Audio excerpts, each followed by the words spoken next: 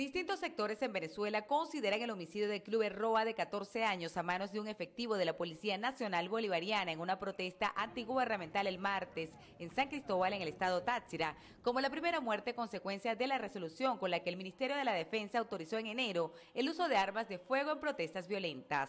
Desde el gobierno se afirma que la medida intenta regular el uso proporcional de la fuerza, pero este jueves varios grupos emprendieron acciones legales en su contra. Estudiantes universitarios partidos políticos, académicos y expertos en derecho acudieron hasta este punto, la sede del Tribunal Supremo de Justicia en Caracas, para solicitar la nulidad de esta resolución por considerarla inconstitucional. Esos grupos recuerdan que el artículo 68 de la Constitución venezolana prohíbe el uso de armas de fuego en manifestaciones pacíficas. Eh, creo que es un clamor popular, un clamor de todos los ciudadanos venezolanos de que esa resolución sea derogada. la Fuerza Armada Bolivariana no tiene ninguna injerencia en manifestaciones públicas, no están preparados para eso. Desde el gobierno se desvincula lo ocurrido en Táchira de la resolución, pues afirma que la acción fue ejecutada por un policía nacional dotado con un arma orgánica y no por un militar. Un uso indebido de arma de fuego por parte funcionario policial, pero no es una política. El movimiento estudiantil protagonista de las protestas antigubernamentales que ha habido en el país considera que tan peligrosa como la resolución es la ideologización de los cuerpos de seguridad en favor del Estado que aseguran existe,